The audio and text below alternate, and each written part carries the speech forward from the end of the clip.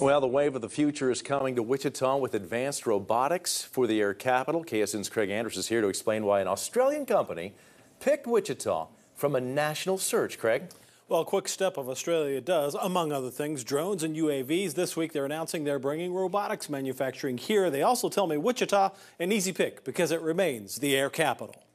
For years, Wichita has done manufacturing for aerospace in a big way. Now the future is coming. The unmanned systems line of business is something that we're going to replicate in Wichita. Quickstep of Australia wants to be set up with robotics manufacturing and be turning out drones and UAVs by early 2024. This is a very um, modern factory of the future. While Steve Osborne with Quickstep says the future is coming to Wichita, it's the established aerospace relationships that made this happen. It became very clear to us that Wichita and Kansas uh, really is the air capital of the world, and we're excited to become a part of that. Osborne says things like the NIAR work and work with composites sealed the deal, and that includes Wichita's pipeline of people talent that gets trained in part at WSU Tech. We visited with this company from Australia over about two years total. Jim Hall is aviation and manufacturing dean at WSU Tech, where they do aviation related training.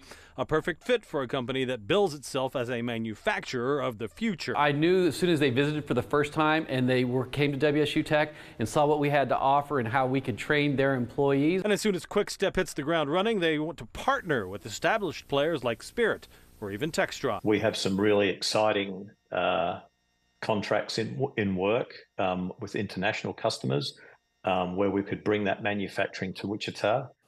So the Australian group says they talked to a lot of the subcontractors here in Wichita. That played a big role in coming to town. Quickstep already has a building picked out.